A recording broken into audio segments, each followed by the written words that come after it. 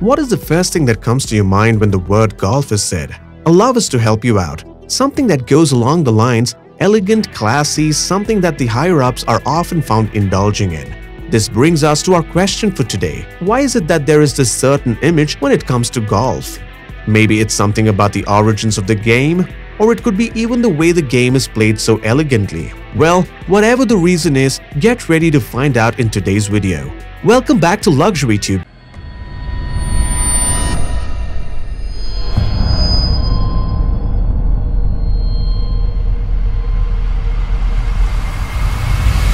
Guys, today we've prepared another interesting video on what is considered one of the most luxurious sports, golf. That being said, let's dive right into the video. Anyone unfamiliar with the game golf would probably label it as plain boring. Well, wait till you find out those words are just out of ignorance. And there is a whole lot more to the game than we can imagine it to be. We have to admit that though the game may include equipment like a bat and a ball, the sport is unlike any other. It has its own special requirements and is definitely not one that can be played in any random location. There are some who are fortunate enough to play in their comforts of their own golf fields, and there are others who have experience in public golf fields. Either way, the game is a total luxury that adds a good reputation to both the person's social status and image. One of the biggest reasons this sport is considered one that is mainly for the wealthy folk is how much the game makes a person spend their money. Playing golf is not as easy as just walking in a bowling alley to have some fun or sprinting around a football field. There are several expenses when it comes to the game. It doesn't take just hundreds of dollars but could go up to thousands of dollars per game which for most of us would be considered a waste because of the way we earn. Being a member of anything could cost you quite some money compared to the others. And that goes for the old sport too. Golf membership could cost you a pretty good deal, but if you're not cautious about the amount of money it would take, you've got nothing to worry about. Golf gear including hats, golf shoes, bags, trainer gears, driving gear fee, rain gear, and let's not forget the hundreds of dollars one has to pay in order to play a single round alone. Hey, and if you are someone who keeps messing up at the game, you probably know that those golf balls don't come at a reasonable price either. To put it in simpler words, being able to play several rounds of golf, be it on a private or a public field, could be a very clever way to show how well off you are in life to spend thousands of dollars on golf equipment, a couple of hundred bucks on a driver, and another thousand bucks for every fundamentals of golf, you either have to be born rich or have to have enough money to spend it on the elegant sport without a care. It's crazy how much even the most rudimentary requirements could cost you more than thousands of dollars worth of money. Only after a long hunt to find bats at a decent price will you actually succeed. Sometimes it would be even wise to consider buying second-hand golf gear at better prices. Second-hand ones are not always a bad idea. Sometimes it could just be from one of the spendthrifts who have decided they're too tired of the old bats, while they toss those away to spend more money on newer ones. You could always be smart and go for the ones at reasonable prices. But the golf gear and apparatus don't even account for half the amount of money you would have to spend on the sport. Contrary to the belief that many people have, golf is not as easy as just whacking a tiny ball into a hole. The whole game is an art, an art that can be mastered mostly if one is born with perfect aiming, posture, and control, or one that has been taught to master the sport. And guess what? And taking golf lessons is nothing as cheap as the football lessons and swimming lessons that most common folks attend. The more time you spend learning on the golf field, the more you'll actually have to cash out money. And here's the toughest part.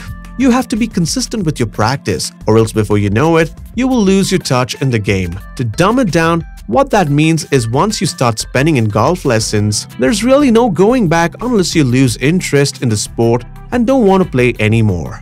This is probably one of the biggest reasons people who don't live wealthy lives stay away from golf. Even classes every 5 to 10 days cost a huge sum of money that could not be in any way reasonable to spend. Another thing is the arena in which you play the sport. The more you pay, the better an experience you will get to have. Golf requires a well-done stable green field arena, and if you think you can just pay your way into the court and pick whatever land it is you want to play on, you are absolutely wrong. Even the players you decide to play could vary with different prizes depending on which is better than the rest. This is where the sad reality comes to light. No matter how much we hate the saying, the quote, you get what you pay for, has never felt more real than this in this case. Once someone manages to make it onto a golf court every now and then, they might get a sense of wealth, right? Believe us when we say this, that sense of wealth does not last very long. In fact, if you're making it to the golf court, the next thing that you would feel is a requirement would be the fortune of joining a golf membership, a group formed for the elite to play the game.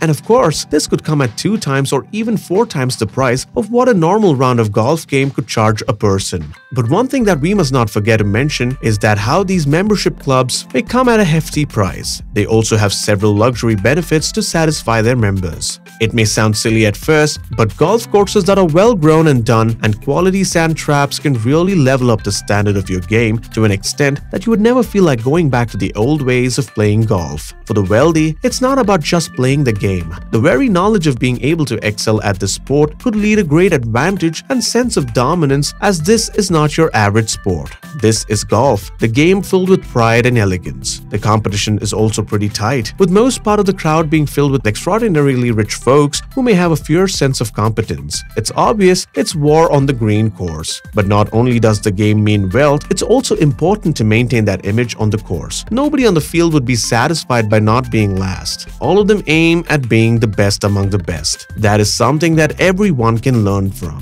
Though the game may be highly unreasonable at times, a takeaway from here is just like them. We can also strive always to be the best at whatever we venture into. After all, nothing bad can come out of effort and determination. So what we can conclude with here is that when golf is labeled as a game for the rich and wealthy, the statement is not entirely false. But let's hope that things don't stay that way. The sport should be made accessible to anyone who desires to play it and just not to those who want to do it because it's high reputation among rich people. For those of you who have come to terms with the fact that you're not going to find the game even slightly interesting and it's just overhyped, that is mildly true as well. In the end, sports should be available to all those who have a passion for it and not only those who can spend more.